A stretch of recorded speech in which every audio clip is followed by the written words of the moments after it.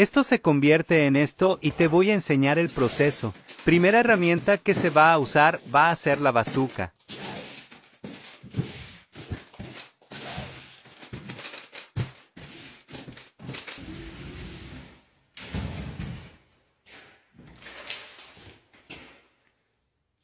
Rodillo.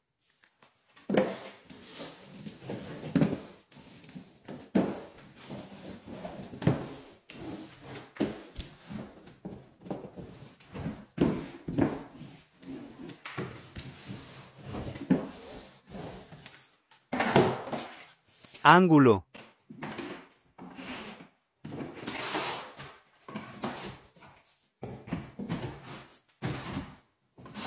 Solamente toca limpiar las esquinas y listo.